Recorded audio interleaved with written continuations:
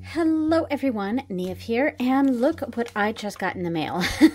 uh, this just came in moments ago. Um, I did actually open this up real quick just to look inside. Um, it's a little banged up. This is the booklet for it, but this, oh, I didn't even say the name. This is the Wisdom of the Cailleach. Um, that's how excited I was. I've been waiting for this deck. Uh, like I've been on the wait list for like two years, and um, the last run, um, I just... I wasn't in a position to um, buy it at the time, but I was now. So when it was available now, um, I jumped on it and uh, bought it, and it just came in. So this is, of course, Wisdom of the Cailleach, and it's by Jane Brideson. Um, the deck came in this little bag here. I'm not sure if I'll keep it or not. Um, like if she, if Jane Brideson had uh, made this bag, I probably would have kept it, but I'm pretty sure this is just a simple store-bought um, little baggie. So yeah, I, I will probably make a bag for this. Um, so I haven't even taken the plastic, plastic off, but here it is. Um, I'll take it off right here on camera. All right. Oops. There we go. We've got the cards there, and we'll look through these in just a moment. Crinkle, crinkle, crinkle, getting the, the plastic out of the way. All right, so I'm really excited to go through this, but let's check out the book real quick. And it does, uh, it is a little banged up um, from the, from shipping from Ireland um, here to the U.S. Um, yeah, so yeah, you can see it's, it's a bit bent here. It's okay, it's okay.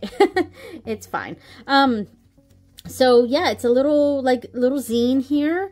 Um, the Wisdom of the Cailleach, an Oracle and Journey with the Old Woman of Ireland by Jane Brideson, created and produced in Ireland, dedicated to An Cailleach Beara, um, who showed me the way, and my maternal grandmother, Annie Mona Bridson. Bridson? Hmm. Uh, proud Manx woman and uh, teller of tales. Excellent. Um, so, and then there's a table of contents. Excellent. So the journey, the beginning, the journey, uh, and then the circle of old women, and then working with the wisdom of the Cailleach. Um, excellent. So we've got the beginning part there, and then it starts going through each of the cards, and this is just like fantastic. Um, and then the circle of old women. Excellent. I know I'm, I'm not saying much right now. Um, actually, I'm just, uh, I'm kind of just a little excited. um, so yeah, it's uh, like I've been waiting on this deck for such a long time, um, and I plan to exclusively work with this deck uh, um, in December. So I'm actually not planning on really using this until December. um, but yeah, so there's the book. Uh, the uh, Here are the cards. I didn't see how many cards there were. Um, I'm actually not sure. And honestly, I don't care. I don't care how many cards there are. um, the cardstock itself, it's a it's kind of thin. Um, the cards are large because they're kind of meant to be more like altar, uh, altar cards. Um, so they are large and typical Oracle size, I think. Um, so let's just go through these. um, let me zoom in a bit. Let's see if I can zoom in. Oh, it won't let me zoom in. All right. All right, so I'll zoom in in my editing program. We got Long Road. Excellent. Crossroads. I love the backs of these two. Very nice and simple, um, very Celtic um, Irish blackthorn. Um, the Cailleach is a, um, a deity that is, um, we see in both, in specifically um, Irish and Scottish um, mythology, um, but probably in Manx as well, Manx uh, mythology. Um, and we, you know, we might see them as separate individuals because sometimes that's the case. Like in the case of uh, Bridge, Bridget, um, some people see uh, the goddess, the Irish goddess, the um, the Irish uh, saint, and uh, like the Scottish Bridget or the um, across the pond sort of Bridget as uh, different entities, but based on the same. And then there's other people who see them as the same. So it's kind of a um, you know, I, I don't want to say that one way is better than the other or one way is more correct than the other, but um, yeah. But I kind of personally see the Irish Cailleach and the Scottish Cailleach as sort of the same entity. And maybe I'm wrong with that. I don't know. Maybe I am, maybe I'm not. I'm not sure. Um, this is beautiful. Oh, sun. I love this. But um, yeah, and uh, I definitely uh, associate December um, Yule uh, with An Cailleach. Um, yeah, ooh, look at that. First fruits. I mean, it's kind of a year-round sort of energy, but I really see her as um, embodying that December month for sure. Beautiful. There, there's not too many cards, so this, this part here should go over pretty quickly. Ancestors love this card. Like, obviously, this is not a deck I plan to use for, like, you know, everyday pull pulls or, like, mundane questions. This is a deck that I specifically got for work with An Cailleach and just big issues, big, big uh, spirituality sort of um, uh, readings. So it's not a deck that I feel like it's, it's going to be, like, um, used all the time in my practice. Um, you know, I've been talking about how I want to get back into reading for others, like um, as part of my business again. Um, I just haven't gotten around to that, but I, I do want to do that again. But I, I would feel, I think I would have to really um, really connect with this deck before I felt comfortable using this for other people. Um, and then the final one is the Veiled one. Beautiful. Um, so it's probably going to be uh, pretty specific uh, use in my practice, pretty specific for me, but um, we'll see. So I'm going to shuffle this real quick, and I'm going to side shuffle. Uh, I'm going to do a few shuffles because I've pulled out several decks to see how this might pair. And some of them are oracles, some of them are tarot. And I just, you know, I just, there's something very cosmic about this deck. So, um, you know, very spiritual, very cosmic. So I pulled out decks that gave me that sort of feeling. All right. So, and yeah, I mean, it shuffles just fine. It's very bendy. Um, it's uh, it's a thinner card cardstock, which I, I don't mind at all, honestly. All right, so let's do that. First snow. All right, let me pull out a deck. So the first deck I wanted to try, um, I was talking about how I feel like this deck will be very um, personal for me. So I wanted to pull out uh, my me deck, um, and that is my Anna K. And I'm pretty sure this will go very, very well. Uh, let me shuffle this real quick, because uh, I probably used it fairly recently. So I just want to do a little shuffle. All right, and split this in half. All right see how this looks. So um, my Anna and I think this looks lovely, but my Anna is something that's very personal for me. Um, and it's not a deck that I use for other people. Look at this. Wow. The High Priestess with the Ancestors card really connected. And then we got the Ace of Rods after that. Wow some luck, for, like inspiration from the ancestors, I think, and um, connecting with them in uh, deep inside. Yeah, this like. I can already tell this. These two decks go really well, really well together. Um, there's just an energy that really works here. I think. Um, what do you think? because I think this works. Um, I'm going to do just a few more because I have so many decks to go through. We got the Hermit and the Three of Pentacles with Mound in the middle. Hmm. Yeah, there, there's definitely something I could read from that. And one more. Seven of Rods and the Sun with Balance in the middle. Hmm. It's almost like this, like there's this anger energy and this sunny happiness, uh, like toxic, toxic negative negativity and toxic positivity and like trying to find a balance in between. Um, yeah, so anyway, so that was the uh, Anna K with this. Um, I did also pull out the Anima Mundi, but I'm not even going to pull this out because I'm pretty sure this is going to go well, and I think it's going to be pretty similar to that um, Anna K. So I'm going to go to the next deck, so so I don't waste too much time here. um, let's do let's do this one. So I pulled out um, the Guardian uh, Tarot, and uh, this is also a deck that I feel very uh, it's very spiritual in my collection here. Um, here it is, and let's pull this out. All right. Um, I I really really love this deck, but I don't love uh, the cardstock. It's because it you can see that it rocks. It it rocks like that. But yeah. Well, let's check this out. Oh yeah, that looks that looks pretty cool. Um, I'm gonna take off a chunk though. Here we go. I mean, ooh, okay. We have the Ace of Wands and Strength with Well in the middle. I mean, this definitely has a very spiritual quality to it. Ooh.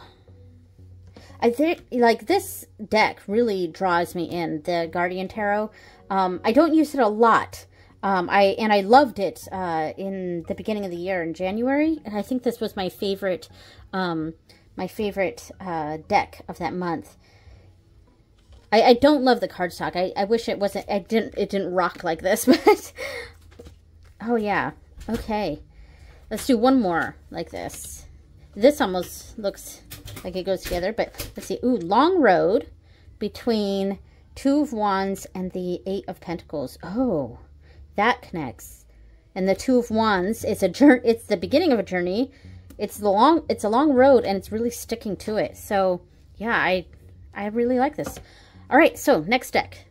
I really feel like this uh, Guardian Tarot, uh, along with this uh, Cailleach deck, is like, I don't know how to describe it. It's, I feel like it's going to be very, like, pathworky. I don't know. Um, or like really working with uh, spirit entities, if that makes sense. Um, so speaking of like spirit entities, uh, I kind of went, I grabbed another deck that kind of goes off in a different direction. Um, and that is, uh, I gotta keep this out of the view because it's one of, it's got one of the new bags that I made. So, um, and I'm not ready to share that yet. Um, but yeah, so this is the uh, Yokai Tarot. And um, obviously it's Japanese, so we're kind of mixing cultures here a little bit. Um, but I, I just kind of wanted to see how this would look. Um, and of course, yokai is uh, the spirit Japanese spirits, um, like uh, uh, spirit entities, sort of. So uh, I, I kind of wanted to see how this would look. And I like that it's the, the height is similar here. Um, so that actually could quite work together. But um, again, we are mixing cultures here, so um, that's something I'm kind of careful to do. Um, so let's see. Let's pull these to the side here. Okay, we have the uh, Knight of um, of Pentacles and uh, the King of Pentacles. Yes, um, in between with so the coin, uh, Knight of Coins and King of Coins with change in the middle. So it's almost like an evolution going on. That's interesting. And then uh, we have the Ten of Swords and the Eight of Swords with long thorn in the middle. That that works. Like how do how do I like the imagery though? I do like this. Like I don't think it's it it clashes too much. Um, but I do, like, I, I don't like the different colors here with the white borders uh, with this, but I mean, that's a, that's a minor thing. Ooh, all right. These three all feel like they have like some animal energy here. One more. So I don't think this quite goes as well as the other ones. Um, sovereignty in between the three of wands and the queen of pentacles. Queen of Coins. Sovereignty. All right, well, this was interesting. I, I, I'm I'm not saying it was bad or anything. I, I don't dislike it. Um, but it's not quite as good as the other ones. But, all right, so that was the Yokai Tarot. All right, so the next one I want to try, I kind of want to grab um, two decks here. Um, one is the Star Tarot, which is a deck that I don't love. It's, um, but I, I want to, I want to get to know it. I, and I want to see if I can, if I can love it someday. but it, it, does have that very mystical star quality to it. So I have uh, this deck here. And um, let's do either side. And I have a second deck that I kind of want to pair with this. And I, I mm, let's, all right, I'm going to mess around with this. Hold on. Okay, we got this layout here where I have this down a little bit. And here is where the other deck is going to come in. Now, this is the Star Seeds uh, Oracle. And um, it's not a deck I use very often. um, I, I don't love this deck. Um, but uh, it's I, I don't know. I, I feel the star quality here, so I just kind of wanted to pull this out and see if we could get like another message with it. So I thought maybe this could work. Maybe this might be interesting. And of course, we could do something like this, where we kind of do this sort of thing. I don't know. Does that work? That might be too much, but like, I don't know. It's kind of interesting. but all right, so we have, have uh, here, we have vibration with sovereignty and nine of swords and six of wands. Interesting. So pull this over. Gratitude. So the moon, this looks cool. The moon, the, between the ace of wands and the eight of pentacles, which I like. Gratitude uh, universal love shines through the miracles of life all around you. Hey, I mean, this this deck is, you know, it's it's very wooey. it's very wooey, very star seedy, but you know, it's fine. I, I just kind of wanted to see how this might look. Um, multiple oracle decks here with um, all sort of having that cosmic sort of energy because even though the Cailleach is very rooted to the earth, it, it, it feels very cosmic to me because, you know, this is very much a goddess energy and um, a goddess that I really associate with uh, um, the winter. Um, so those sorts of energies. So Blackthorn with Earth Guide, your sacred calling upon this planet is to simply love and to be loved.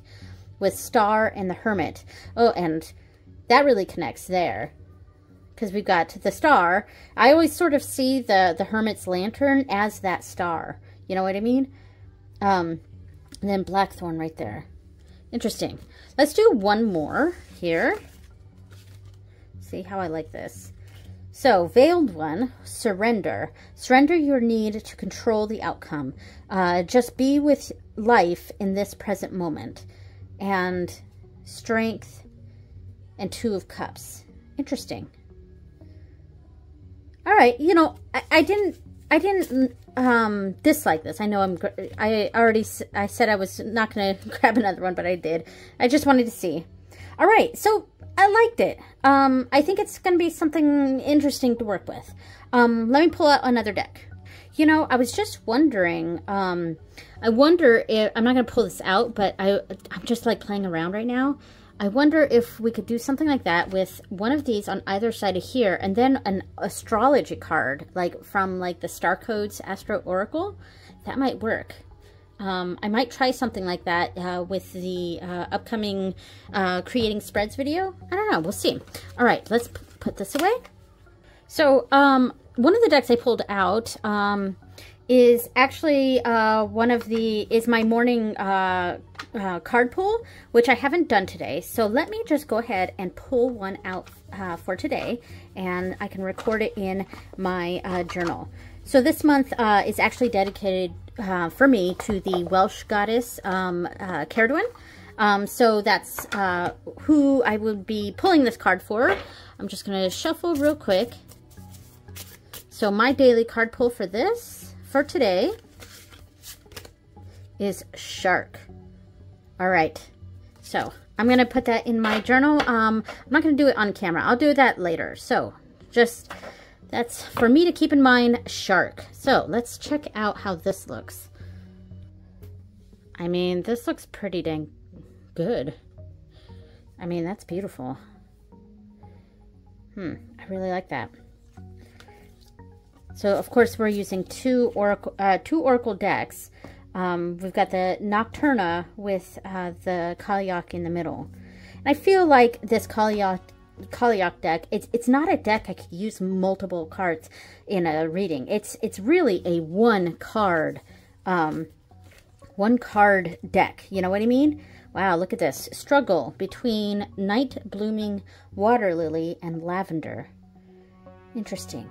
I want to kind of pull in one of the other decks real quick just to just to get another sort of feeling here. And I grabbed uh, the Morrigan Oracle cards. Um, so we've got another Irish Goddess here. And I just, I kind of want to see how this works together.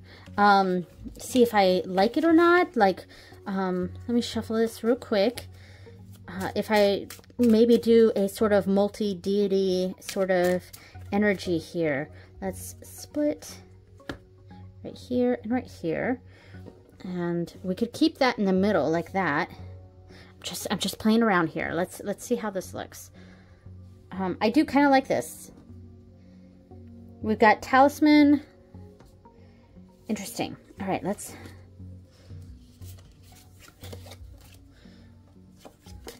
Hmm. I kind of like this. What do you think? Let me know down below um, if you like this one. Uh, and also just let me know uh, what combination you like, what uh, what pairing or multiple pairings you like. Look at this, old woman with the queen and fear, and cactus and asphodel. Very pretty. I quite like this. All right, so I have one more deck to pull out. So I also pulled out the Endless Oracle.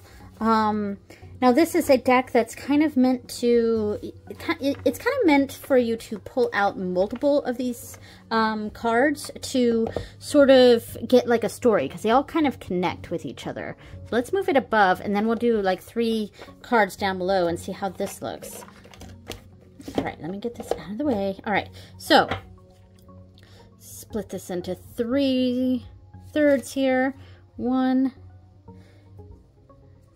two, three, and this is too low. Let me let me see if I can try to get this right here. So we have the old woman with the mountain, uh, the unicorn, and the zenith. We put these right next to each other so that they it forms like a story. Because that's how this deck is kind of supposed to be read here. So this is interesting. I like the colors. So tribe with the bard, the pomegranate, and the healer. So here is a, we've got two tribe members here. Um, sort of a working together maybe energy. And dear mother with uh, the ships, the butterfly, the cohort. It is very interesting. I like the way this looks and um, I don't, uh, know the meanings of um, this deck as, you know, off the top of my head. It's something I'd have to look into. Um, but I do like this. And look at all this blue here. I mean, that's, that's beautiful. This and that connection with the tree here and the crossroads. We've got a cave, a graveyard. So this is the crossroad right here. We got that tree right in the middle. And the path one, path two that's very interesting. I like I, I really like the way this one came out. All right, so I also like the idea. Let me let me just grab a few of these uh, cards here. Like pulling out three cards here. I'm just pulling out three cards. Graveyard again. Um, we'll have home right there. And I want to test and see. Maybe maybe we can grab the um, the Guardian Tarot here and see how this might look. I'm just kind of having some fun with um, the cards here and, and testing out um, some layouts, uh, how I might want to use this uh, deck. Um, so we've got that, which is interesting. I don't know how I feel about these ones, but let me try a different one. That looks cool right here with this. Look at that. Wow. And then we got another card here. Interesting. I mean, what do you guys think of this? Because this is actually pretty cool. Um, we've got kind of the story down here. It's almost like a Lenormand reading. Um, because I, I often do three card readings for Lenormand. But this is almost like a Lenormand reading. And then we've got the wisdom of the Cailleach right here with this spiritual energy to the side. It's almost like the, the willow spirits, the tree spirits are coming out and um, sort of adding their, um, their two cents here. I like this. All right, so that's um, most of the decks that I used here with this um, with this uh, deck here. I'm really, really happy to have this in. Um, I'm really excited to work with An Cailleach. Um, most of this work that I'm going to do with her is going to be in December, uh, but um, I'm really happy to have this. And um, yeah, so I, and I, I I'm I feel like I'm mostly going to be using this deck like at the end of this year as a morning uh, card pull. Um, but I, I feel like I'm going to use it um, a bit throughout the year in 2025, but uh, we'll see. Um, I did really like this, so let me know down below uh, which combination, which pairings you liked, um, and if there's any other pairings you kind of want to see with uh, this deck, I would um, love to hear some suggestions. So thank you so much for watching, everyone, and I will see you next time. Bye!